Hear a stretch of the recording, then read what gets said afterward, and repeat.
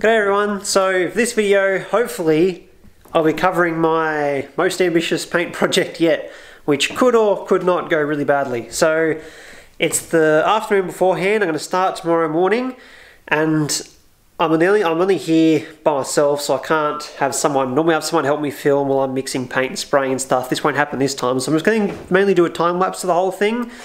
But basically, my fifth gen Prelude that's been hasn't been the subject of a few videos, but we've seen the I made the wing in one video, and then we fixed the guard roller to do the guards in another video. The car's all ready for paint. I'm going to be doing it in the JACCS, which is like a 1990s JTCC touring car livery, and it's really complicated. I've never done anything like it before, so we'll have a quick look at it. So I've basically just been going off this model to go off where all the, the um, lines and that have to go. The actual sponsor, you can tell it's covered in glide wrap so I can pick it up tomorrow after I'm painting and not, not cover it in paint if I have to look at it. But basically the sponsors I'll vinyl cut as stickers and all the colours are going to be sprayed on. Well, this is all my supplies. I'll we'll open the paints, have a look at them. So this is going to be hard to do because I've never painted a multicolored car before and this is about as difficult as a multicolored thing's going to get because there's so many different colors. So you might say that I did my my police car, which was multicolored, but I sort of cheated with that because I painted the white and then gave it a few days to dry and then re-sanded up to a tape line and painted the black. So that was kind of just two single color paint jobs, whereas this has to be done properly like a multicolor paint job. So I'll run over the plan. So basically I've vinyl cut these, which are for the blue zigzags, and then all the white dividers will be normal tape using a fine line thin tape. So I've got a um, I've got a front guard in there that I'll be testing each tape pull on before I do it. But basically the plan is start with the blue and then spray the rough area that has to be blue. Apply the vinyl zigzag and then spray the whole car white and then mask off all the areas except for what I want to be green, do the green and then mask off again orange, mask off again red. The hard part is if I spray it blue, I then have to tape over the blue, which is fine. But if I spray the blue and leave it for two days so it's nice and dry, I can put the tape on it, which is not going to be a problem, it won't pull the paint off. But when I spray the next colour, the white, it won't stick to the blue anymore. And the same thing, I can't then spray the whole car white, leave it for two days to make sure it's dry and then spray the green, because although leaving it for two days will ensure it doesn't come off with the tape, it will stop it, it will stop the green sticking to it. So the recommended time for these paints, it says on the sides of the tins, is you got 10 to 15 minutes for them to be dried and then any time after that up to a maximum of like an hour ish you can put tape on and it's dry enough that the tape will stick but wet enough that the next layer of paint would stick. So if you screw that up either the, you'll paint it all and the paint will fall off over a few days that's on dry paint or the tape will pull it off. So I have to be everything laid out organized. I need to know exactly how I'm going to lay the lines and then I have to spray the next color wait the correct amount of time have it masked in time to spray the next color. And remember because there's blue exposed the time from the first blue coat to the last red coat has to not be longer than the full drying time of the blue to the red, otherwise the red won't stick, or the clear won't stick to the blue. The clear won't stick to any of it. So I've got to spray blue, white, green, orange, red. Those could be in any order because they don't actually go on top of each other. And then I've got a clear coat. I really hope I get it right because there's a fair chunk of money in the paint, as I'm sure anyone that's priced up paint knows, and there's a lot of work gone into the car. And the police car runs out of rego next week, so I have to drive this car to work like next week, so I've got two days to get this correct. As far as picking the colours, I get it from a shop called Allard's in Fyshwick. They've been super helpful. The guy in there is always really good. I pretty much just bought him the car and said, can you please make me these paints? Then he went through by hand and matched up all the colours and then gave me a special code in the paint system. So you can see this is actually called JACCS JTCC Honda Green, the, the white, the blue. He actually made up all the paints. So thanks to them. They're not like sponsored or anything. It's just helpful. So I'll get these closed up before dirt goes in them. I just wanted to show everyone. But I'll make sure, I'm going to go over 10 more times in the order I'm going to do everything. Make sure I have everything laid out and then get up tomorrow morning and start spraying. So fingers crossed. So quick note before we get started. One of the things I was excited about most was watching the time lapse from the GoPro. Turns out Hero 5s, unless you've done a firmware update, just delete four out of five of the time lapses after they're recorded. So I've got one of the zigzags going on, one of the white going on, and that's it. They're all missing. So I still have the DSLR footage, which is enough for a video to show what I was doing, but it's really disappointing that the whole time lapse from start to finish would have been awesome, and it's gone. But here's what I got. Alright, so I'm, next morning, I'm all dressed up in the plastic sweaty sperm suit. I'm gonna go in, give it a final wipe down for wax and grease, and give it a wipe with a tack rag. This is just a rag with like glue in it, and so it really pulls off any last remaining bits of dust. So we'll give it a final clean up, ready to start with the blue layer first. Alright, tack rag's done. It's only 25 degrees in the booth, but the 25 degrees mixed with the plastic suit, freaking sweating my ass off. the um, the suit is not for keeping clean, which is what you sort of initially expect. It's to keep dust off stuff. It's like a lint-free suit. Other people come and spray stuff here, and people that wear a suit versus people that do it in shorts and a t-shirt, it's a huge difference in how much dust is in the car, in, like in the paint. If you're wearing just a t-shirt and you're like spraying around, you're just like producing huge amounts of dust. So it makes a big difference wearing the plastic suit versus just doing it in a t-shirt and stuff. Okay, I've got one coat of the blue left and it's getting fine how much paint I have left. The blue one only got half a litre and the other colours are all a litre, but uh, I'm spreading it out more than I was sort of planning on to get the line in the right place, so hopefully I don't run out of blue because that would be bad right from the start. Alright, so that's the blue done. I wouldn't say I ran out of paint, but I would definitely have liked to put another coat on. I was really imagining just like thin strips where the zigzags have to go, but as I was spraying it, I was sort of getting fatter and fatter and I sort of lose track of where I was supposed to be and so I've ended up spraying a lot more of the panel blue and hopefully the bit that I actually need to be blue has a full coverage of blue. So I didn't quite run out, but I definitely would have liked to have more. So I guess I ran out in that respect. Anyway, um, give this 45 minutes to dry and then we start putting the zigzag vinyl on over it and see what happens. So we've got a few minutes left till that's cooked enough that we can go back in. This booth is, at the moment it's at 25 degrees and it'll stay that for the whole day because that's the time, like the temperature that the times the paint are plastered anyway. It says on the paint tin all the times are at 25 degrees. So the booth runs on diesel. I just did a servo run on the scooter Vietnam spec to get another thing and got a chocolate milk. So once that's good to go, we'll go in, put our vinyl on. Alright, so I'm getting worked out where I'm going to put the masking tape down. I have some photos that I took when I was painting the car where I put the strips down and sort of taped them on and just eyed it. And after doing that, I put these texta marks, and there's one there, there's one there, there's one here, showing me where to put the lines. So that's what I tried to use to guide myself when I was spraying. It didn't work perfectly, but it was close. So what I'm doing now is I've got this little laser. This is what I use to do the straight line on the police car. I don't know if you can see it on the camera, but I can laser the line down I couldn't use that when I was spraying because it would take too long to move the laser for every single line, but when I'm masking up now, the laser will give me a straight line and I can make sure it's in the center of where there's good paint. So like maybe this one I wanted that much lower, but if it was lower, it was in the sort of faded area, so I've moved it up a bit. So I should be able to, with that, make sure I'm in the middle of where the nice blue paint is. But we'll see how it goes. Got five more minutes and then we'll start putting vinyl on it. I'll put the vinyl on this first, which is just a test panel. See if it pulls the paint up, and then we'll move on to the rest of the car. So it's been 45 minutes. I've got my three kinds of tape that have to stick to this. Uh, this one's marked as test because it didn't cut out properly. So we'll stick it on here, see what happens.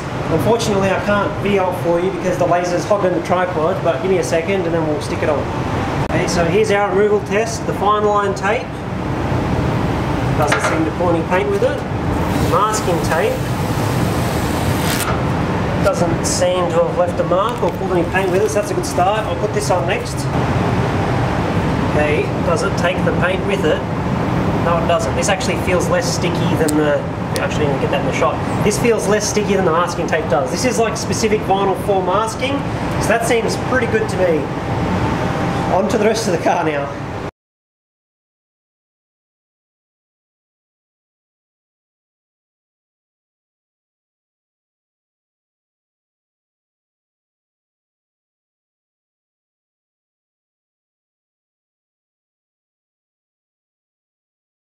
Okay, finished masking up the blue. That was a bit of a disaster. I'll go over it after. I've got to start mixing the white and paint it now because it took me ages to get the blue done.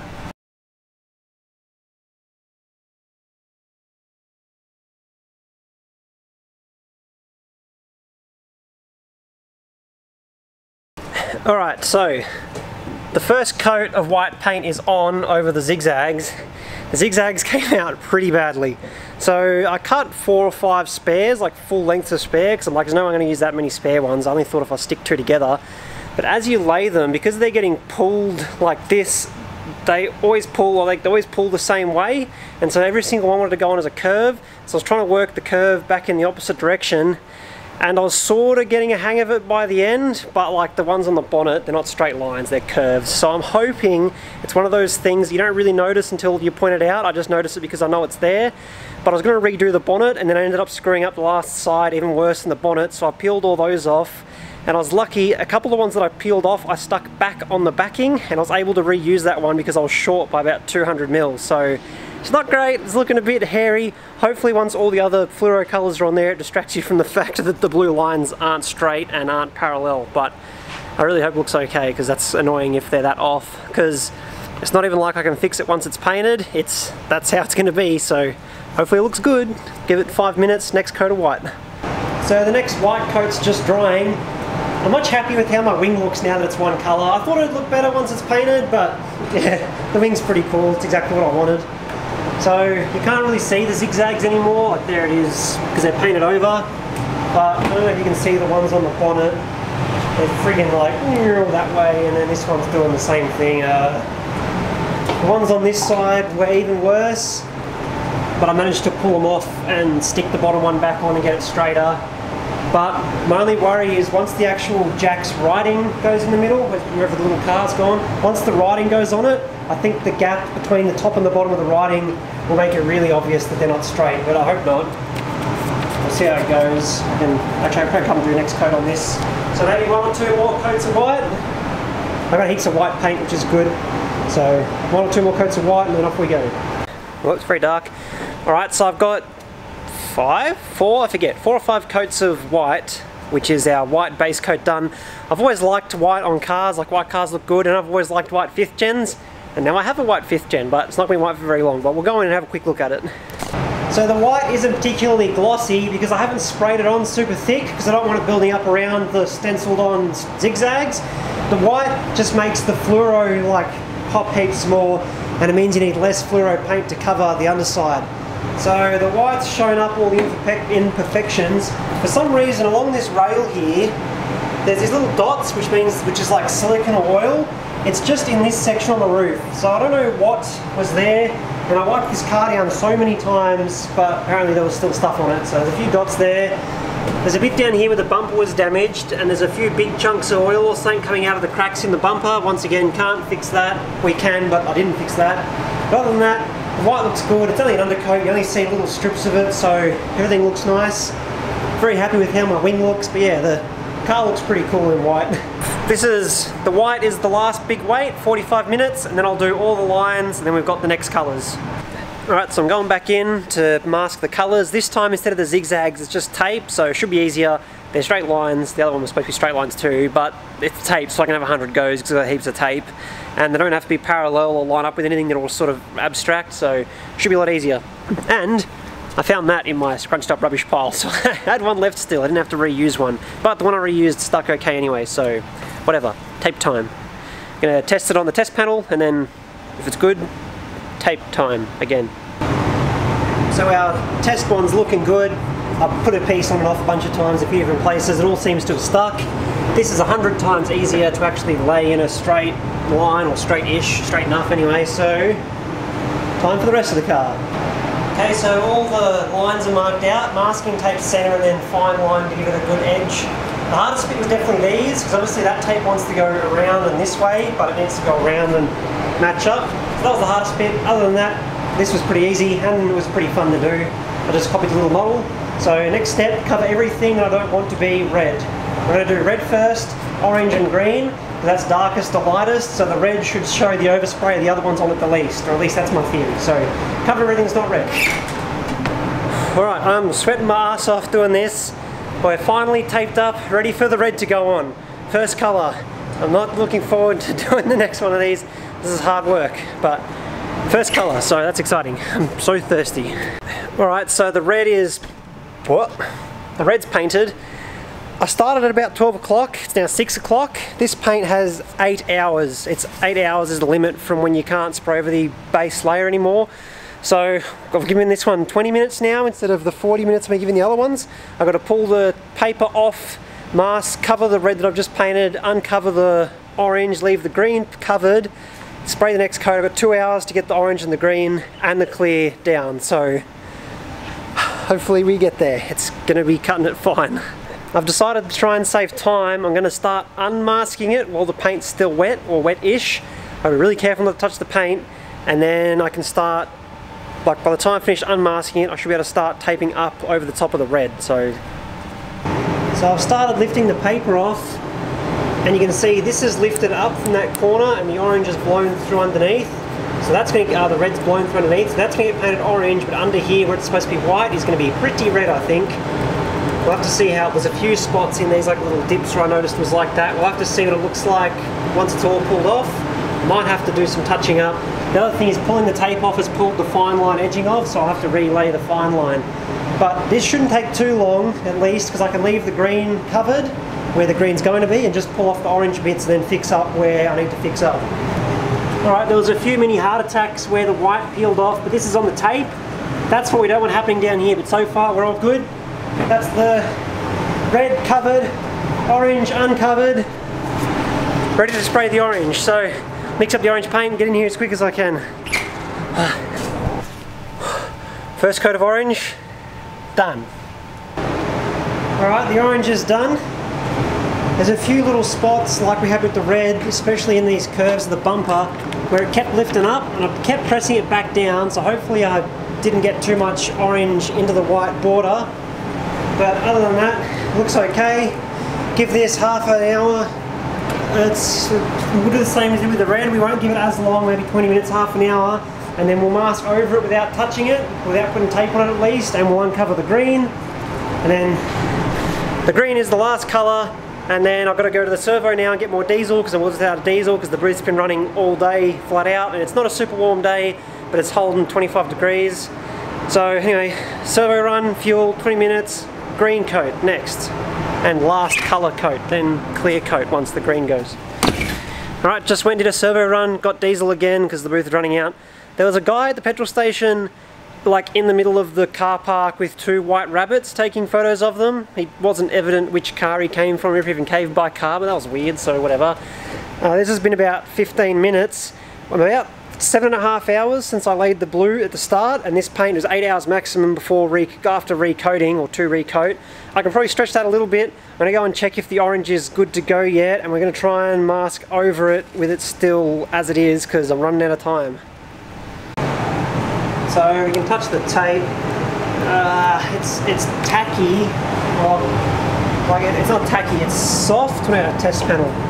It's soft. I reckon uh, I don't know what to do. Uh, I reckon I'm just going to go for it. I'm going to try and cover it up and we'll mask the green, get the green sprayed on because I'm going to run out of time otherwise. This has been a hell of a job. Was, this is the busiest I've been for eight hours straight ever, probably. I'm going and doing through the masking. I just noticed I've accidentally created a martini livery. Alright, ready for the green, last colour. There was an orange section on the roof that I found unmasking it that I missed with the orange. But oh, I don't know if you can see it on this little model. It's right at the front under the S just there, so that's going to be green now. But I realised on the model they actually forgot to put the white border, so I'm not the only person that forgets that little triangle. But so far, that looks like the only mistake. So, green mixing time. Oh yeah, looking good. First coat done. So last coat of green is on. We're currently running overtime, about half an hour over eight hours at the moment. So the green, because we don't have to be putting paper over it, I can unmask it while it's still very wet. So we'll give it 10 minutes or so and then I'll pull the paper off and then we'll mix up clear. So I'll clean the gun, ready for clear coat. And then next step, hopefully I don't put my fingerprints in the green when I'm pulling the paper off. Alright, I'm up to GoPro time-lapse battery number three, but just touched it, it's been about 10 minutes, it feels dry enough, I'm to start pulling the tape off, so over to the GoPro again. It only hit me just as I started pulling it off, I'm very nervous now because this is it. Once it's pulled off, this is what it looks like, and it's going to be like that forever. I'm not fixing anything, so I've tried. Okay, anyway, pull it off. Tape time. Untape time.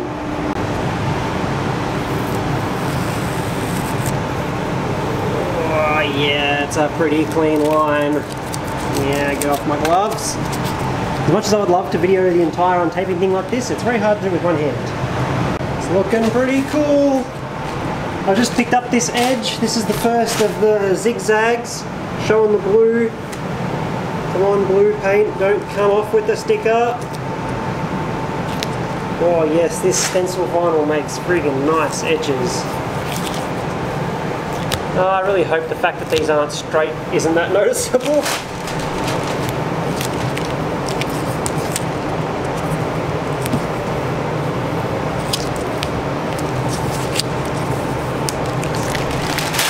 Oh yes. Yeah. Not perfect, not perfect by a long way, but it, it's the colour I wanted. it looks pretty cool. We're almost ready for, well we're ready to clear coat now. These two spots here where it went through, not great. I might actually paint a white square over that after it's cleared. I'm not touching anything till after it's cleared. And um, the vinyl left some sticky residue, which I'm hoping, which is annoying because it's sticker that's made for this, I'm hoping it disappears when I clear it. Not a single bit of paint lifted, except the last bit I pulled off on the roof. There, lifted. But thankfully it's on the Thankfully it's on the roof, which is dark blue already, so it's not super obvious, and it's on the roof, so it's all good. Would have been a lot worse if one of the silver panels lifted, and it would have been way more noticeable. But I'll mix up some clear, we'll clear it so it's nice and shiny, then finally get a proper look, see what it looks like. First coat of clear, done, it's looking shiny.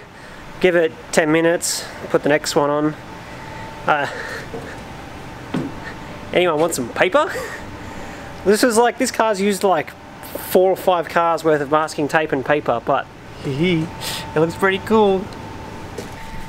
So, last coat of clear, done. I think there's like three coats on it, I forget. Uh, I'm so tired, my back hurts, and my arm is so sore from holding the gun. I ended up spraying with my left hand for the roof the last couple of times because I couldn't hold my arm up anymore. But um, we'll go in and have a look, shall we?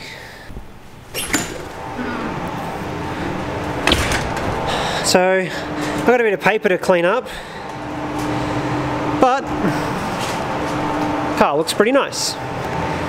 So I'm just waiting for the clear to dry. It'll dry enough that I can pull the tape off the windows. If you leave it overnight and then pull the tape off the windows, if the paint's too hard, it all flakes off and sticks everything and it's a pain. So I'll let it dry and then pull the tape off the windows. Looks nice now that's all shiny. All up, it looks pretty good. There's a few little imperfections like where that bit was and I don't know. There's a bit of orange on the white just there. I think that's probably the worst, the worst one. But other than that, looks pretty good. The bit where the paint peeled up on the roof isn't too bad. It's just like there's a black square now, but I can deal with that.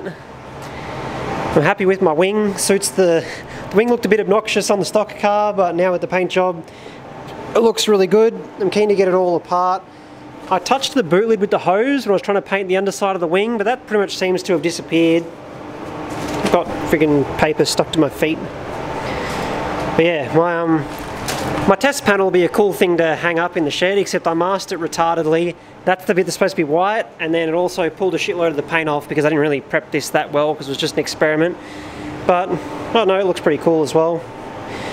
But yeah, wait this a bit longer, pull the window trim and stuff off. It looks pretty cool. This is going to be a good daily driver. Alright, next morning, finally get to see what it looks like in the sun. Shadow, shadow puppets. Wait, it's a dog. Anyway. Hmm.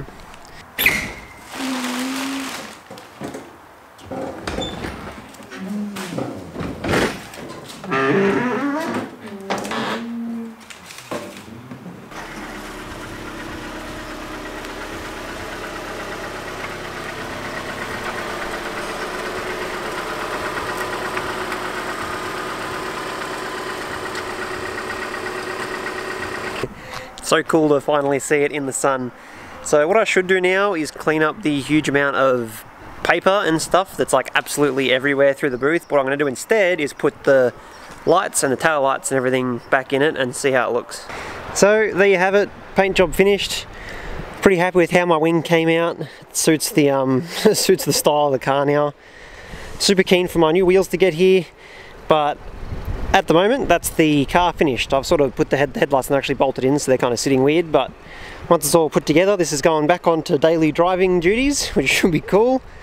So hopefully you liked the video. Make sure you subscribe to see the next stuff because next thing that's happening is after this has a week or so to dry, it's getting all the stickers for all the sponsors and the livery and everything. So I'll see everybody on the next video. Goodbye.